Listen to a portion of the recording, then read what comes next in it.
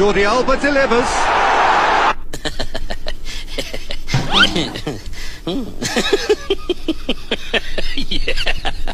Hey, what happened? Uh-huh. Uh-huh.